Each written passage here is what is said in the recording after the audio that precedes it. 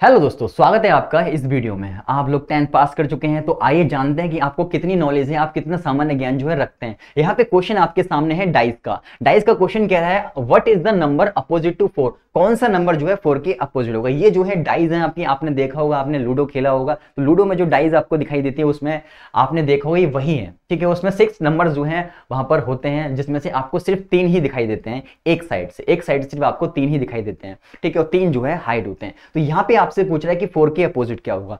एक ट्रिक बताऊँगा आपको, उस ट्रिक के बाद आप बता पाओगे कि फोर के अपोजिट क्या होगा, फाइव के अपोजिट क्या होगा, टू के अपोजिट क्या होगा, वन के अपोजिट क्या होगा, सिक्स के अपोजिट क्या होगा, सब कुछ आप बता पाएँगे एक ट्रिक के बाद। तो चलिए आइए सीखते हैं ट्रिक को। ट्रिक है सिंपल सी, आपको कुछ नहीं करना है, सिंपल से आपको, आपने सबसे पहले चेक करना है कि इनमें कॉमन क्या है। इस वाली डाइज में और इस वाली डाइज में दोनों में कोई कोई एक नंबर जो होगा, वो कॉमन होगा। कॉमन होगा कौन सा? है सर इसमें भी थ्री है और इसमें भी थ्री है। भाई, दोनों में थ्री थ्री है, इसके अलावा कोई नंबर जो है कॉमन नहीं है। नहीं है, मैंने कहा, इस थ्री को आप जो है ऊपर नीचे लिख लोगे। आपने थ्री को ऊपर नीचे लिख लिया। करना क्या है? करना कुछ नहीं है। इस थ्री को पकड़ोगे, जो भी कॉमन नंबर है उसको पकड़ोगे और क्लॉकवाइज घूम जाओगे। क्लॉकवाइज मतलब घड़ी की सुइयों की दिशा में, ठीक है? घड़ी की सुइयों की दिशा में। तो घड़ी की सुइयों की दिशा में आप जब घूमे तो थ्री के बाद अगला नंबर किसका आया? वही फोर का आया? फोर के बाद अगला नंबर किसका आया? वन का आया। क्लियर है इतनी बात? ऐसे ही आपने इस वाली डाइज में भी करना है। ये जो कॉमन नंबर है, इसको पकड़ोगे और क्लॉकवाइज घूम जाओगे। क्लॉकवाइज बोले तो घड़ी की सुइयों की दिशा में। थ्री के बाद अगला नंबर किसका आएगा? फाइव का आएगा और फाइव के बाद अगला नंबर किसका आएगा? सिक्स का आएगा। कहानी होती है यहाँ से समाप्त। आपने देखा यहाँ पे, क्या देखा आपने? कि यहाँ पे इस पूरी डाइज में जो है वन टू सिक्स तक नंबर्स लिखे हुए थे, लेकिन यहाँ पे जो है कोई एक नंबर जो है गायब है। कौन सा नंबर गायब है? कोई बता पाएगा? बिल्कुल बता पाएँगे कि भाई यहाँ पे दो नहीं है। इन सब में सारे नंबर थे, लेकिन दो नहीं था।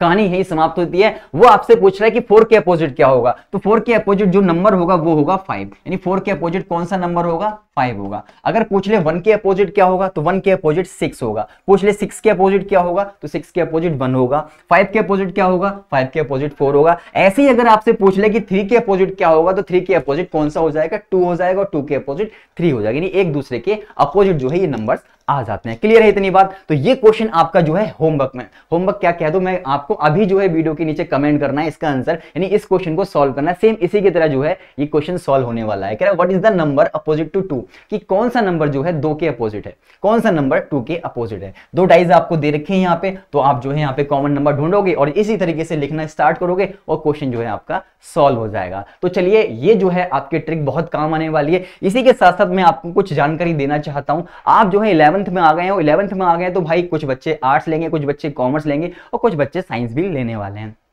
तो कैलविन लेके आए इन सब के लिए संपूर्ण इलेवंथ का पैकेज जिसमें आप जो है पढ़ने वाले हैं डेली लाइव सेशन यानी लाइव क्लास डेली आपको मिलने वाली है, जिसमें आपको डीपीपीज मिलने वाली है डाउट इंजन मिलने वाला है। डाउट इंजन में आपको जो है सीधा आप क्वेश्चन रखोगे, सीधा आंसर आपके सामने नज़रों के होगा। ये सब आपको मात्र मिलने वाला है तीन हज़ार से चार हज़ार रुपए की फ़ीस के बीच में। यानी तीन हज़ार से चार हज़ार रुपए की आपको वन टाइम पेमेंट करनी है बीच में सिर्फ़। ठीक है, इसके बिटवीन कोई एक डिजिट होगी, कोई एक वैल्यू होगी जो आपको पे करनी है, और उस पे करने के बाद जो है जस्ट आपको पूरे साल फ्री फ्री पढ़ना है, पूरे साल आपको पढ़ना है, सिर्फ़ इतनी ही फ़ीस देने के बाद। ठीक है, जिसमें आपको संपूर्ण जो है सब कुछ मिलने वाला है, घर बैठे। घर बैठे आपको जो है पूरी इलेवंथ आपको यहाँ पे पढ़ने को मिलने वाली है। तो अगर आप एनरोल होना चाहते हैं तो कुछ कुछ भी नहीं करना, जस्ट आपने जाना है डिस्क्रिप्शन बॉक्स में, वहाँ पे आपको एक लिंक दे रखा है, उस लिंक में आपको एक फॉर्म दिया हुआ है। उस फॉर्म को क्या करोगे, उस फॉर्म को फिल कर दोगे। फॉर्म को फिल करते ही जो है आपके, आपका जो डेटा है वो हमारे पास आ जाएगा और हम जो है तुरंत आपको कॉल लगाएँगे और आप जो, आपकी हेल्प करेंगे इस बैच में एनरोल होने के लिए। इलेवंथ के बैच में एनरोल होने के लिए। अगर आप ये जल्दी से करते हैं तो आपको मिलने वाला है थर्टी परसेंट का डिस्काउंट यानी ये जो फ़ीस है, इस पर भी आपको 30 परसेंट डिस्काउंट मिलने वाला है। यानी ये फ़ीस जो है, और कम हो जाएगी आपकी। तो देर किस बात की, जल्दी से एनरोल कीजिए और मिलते हैं फिर इलेवन की क्लास में और फोड़ेंगे इलेवन को धक्का